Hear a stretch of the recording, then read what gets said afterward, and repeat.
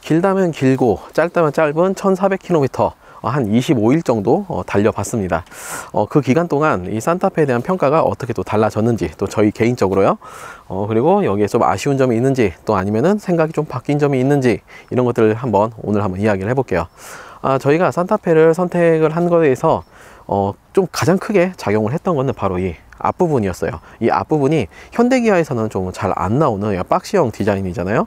이게 좀 더 야생적인 느낌도 있고 또 세련된 느낌도 동시에 가지고 있는 것 같아서 어, 지금 이 앞부분 사실 호불호는 거의 없이 좀 잘 뽑아졌다고 하잖아요. 저희도 여전히 마음에 듭니다.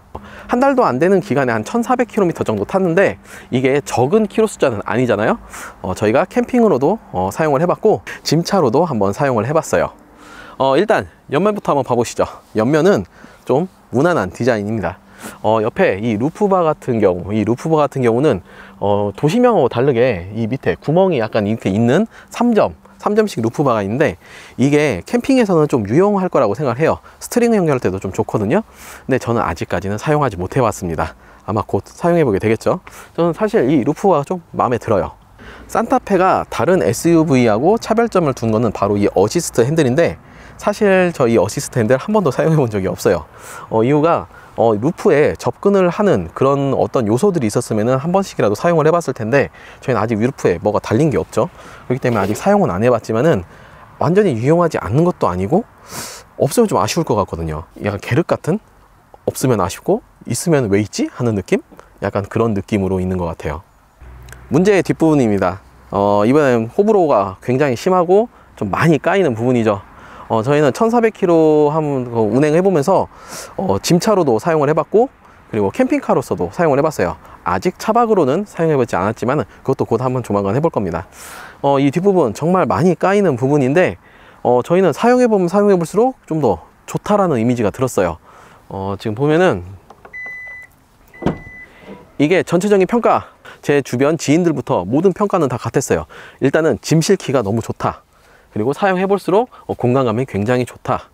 어, 이거는 저도 어, 공감을 하는 바입니다. 그리고 이게 지금 뒷부분은 또 디자인이 조금 아쉬울 수밖에 없긴 하잖아요. 근데 얻은 어, 그 공간감 그리고 그런 실용적인 느낌들이 저는 좀더 어, 저희 성격에 맞다고 생각을 해요. 자 이제 실내로 한번 들어가 보겠습니다. 자 일단 실내로 들어가고요. 지금 보면은 여기에 현재까지 네 1417km 달렸네요 한번 시동을 걸어 볼게요.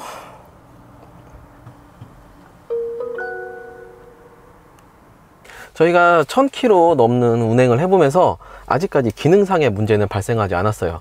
그렇기 때문에 좀 더 이 산타페에 대한 평가가 높을 수 있다라는 생각은 들더라고요. 어, 그리고 저희가 이전에 몰았던 차가 어, 뭐 승차감이라든지 뭐 차량에 대한 고급스러움 뭐 이런 것들 있죠.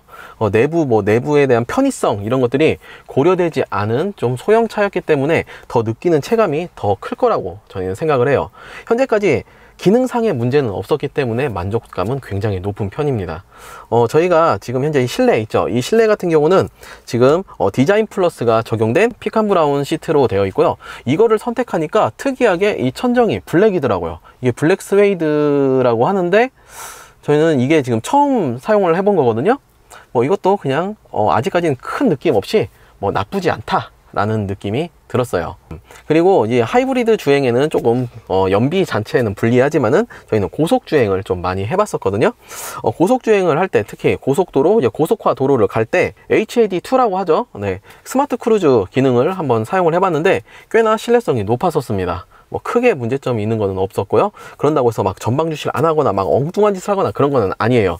당연히 이거는 보조적인 역할이니까. 네. 그거를 한번 그 보조를 받으면서 운전을 네, 한 1400km 운전을 해봤는데 어, 굉장히 편하고 좋았어요. 아 정말 기술이 이 정도로 발달했구나 라는 게 확실히 느껴지더라고요. 그래서 이번 산타페 어, 스마트 크루즈 기능 정말 만족스러웠어요. 그리고 정말 만족스러웠던 거 있죠. 이 옵션들 아주 좋은 옵션들이 많이 있지만은 그 중에서도 제 눈에 확실히 띄었던 가장 좋다고 생각하는 가장 편의성이 높다고 생각하는 옵션이 바로 이 센터패시아 바로 무선 충전 부분입니다. 이게 저도 크게 생각하지 않았었거든요. 이 패드 두 개 그리고 이게 완전히 이렇게 개방형으로 나와 있잖아요. 이게 이 정도로 유용한지 몰랐어요. 특히 동승자가 있을 때 너무 편합니다. 이거 뭐 충전으로 약간 뭐 실랑이를 벌일 일도 없고 그냥 둘이서 이렇게 놓으면은 자동적으로 알아서 충전이 되거든요. 문이 다 닫혔을 때 지금 이거 어, 충전이 작동을 하는데 저는 촬영을 위해서 잠깐 열어놔서 충전이 되지 않는 상황이에요. 원래 산타페가 처음 나왔을 때는 안드로이드 오토를 사용하시는 경우가 좀 있잖아요. 안드로이드 오토가 현대차, 현대기아에서는 특이하게도 무선 연결을 지원하지 않았었어요.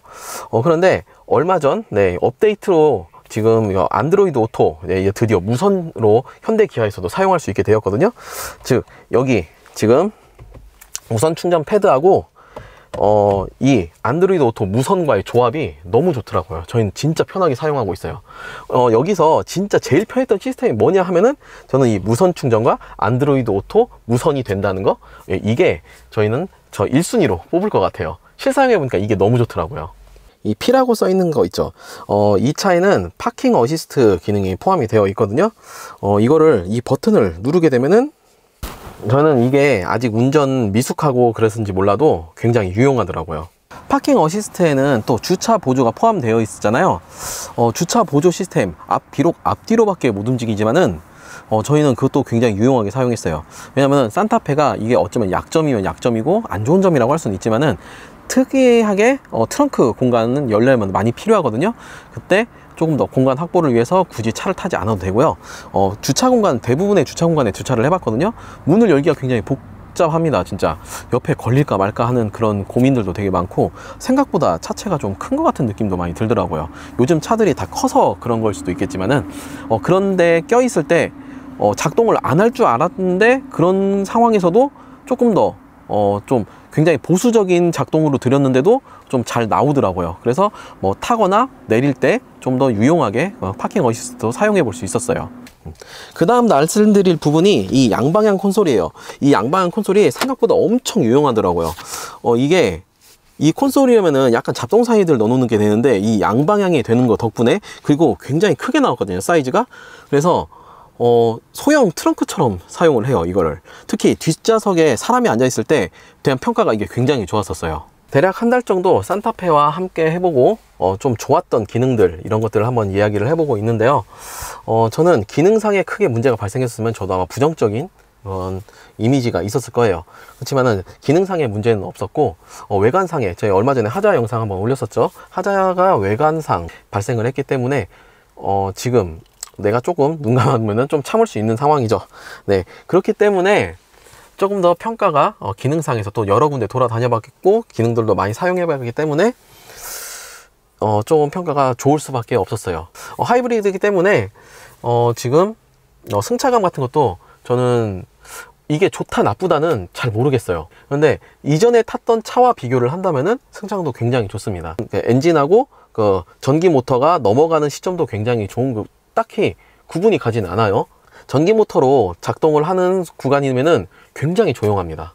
그리고 어 제가 이전에 소형 승용차였는데도 불구하고 그것보다 뭐 이제 뭐 방지턱이라든지 뭐 이런 꿀렁임 같은 것들 있죠. 이런 것들이 훨씬 적어요. 저로서는 만족스러울 수밖에 없어요. 제가 그만큼 경험이 없기 때문일 수도 있고요. 지금 이 차는 저희가 뭘 해도 기능상의 문제만 없다면 만족스러운 상황일 수밖에 없습니다. 제가 이게 좀 더 익숙해진다면은 이제 단점들이 하나씩 보이기 시작하겠죠. 또 그때 어, 또 이런 경험들 한번 공유해 보겠습니다. 어, 지금부터 한번 말씀드릴 거는 이 차에 없어서 조금 아쉬운 옵션이 뭐냐 하는 거예요. 어, 이 차는 프리스티지 옵션이라기 때문에 어, 옵션들을 조금 조금씩 하나씩 넣었어야 되는 상황이었거든요. 그 중에서 제가 이거 하나는 넣으셨으면 좋겠다 하는 옵션이 하나 있어요. 그건 바로 여기 앞에 어, 하는 헤드업 디스플레이입니다. 이 헤드업 디스플레이가 기존 것보다 훨씬 더 업그레이드 됐다고 하고요. 그 지금 얼마 전에 업데이트로 안드로이드 오토가 무선으로 되면서 지금 티맵도 같이 사용할 수 있게끔 됐거든요. 저도 약간 티맵에 집착을 한 거긴 한데 티맵까지 된다는 거를 미리 알았다면 저는 헤드업 디스플레이를 무조건 넣었을 겁니다. 아, 그게 조금 제가 옵션 선택해서 좀 아쉽더라고요. 어, 사실 이번 산타페 나온 거 같은 경우는 약간 버릴 옵션이 없다고 했었어요. 그냥 고민 없이 캘리그래피를 가도 어, 후회하는 옵션은 없을 거다라는 게 결론이라고 하죠. 자 이렇게 저희 어, 산타페 1000km 이상 주행을 해보면서 느꼈던 점 한번 영상으로 한번 남겨봤어요 어, 지금은 칭찬 일색이라고 하지만은 조만간에 깔 일도 조금 생길 수도 있을 것 같습니다 어, 일단은 기능상의 문제는 없어서 너무 좋은데 어, 저희가 하자 그 이제 그 그 기록을 해놨거든요. 그 하자 진행 상황이 너무 느려요. 아직까지도 도장 문제 해결을 못했고요. 내장제도 해결을 하지 못했습니다. 이런 좀 느린 어, 진행은 조금 마이너스가 되는 것 같아요. 어, 저는 또 다음 영상에서도 만나 뵙고 또 이 차, 이 차 더 사용해 보면서 더 많은 경험을 한번 공유를 해보겠습니다. 다음에는 또 차박도 해볼 거예요. 음, 그러면은 또 다음에 뵙죠.